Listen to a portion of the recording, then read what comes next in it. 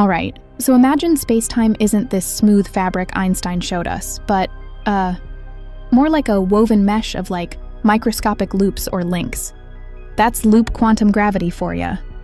Unlike string theory, this idea says space-time breaks down into these super tiny chunks at scales near the Planck length, which is, uh, like 10 to the power of minus 35 meters. Insanely small, right?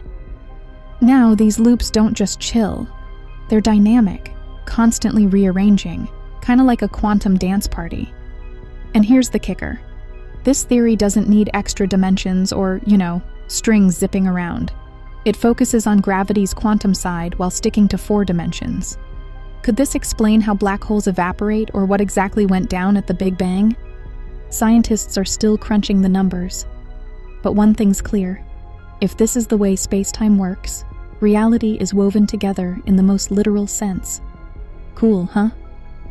For ideas like this and more, hit that subscribe button and dive deeper into Hyperfocus, the channel where science meets mind blowing possibilities.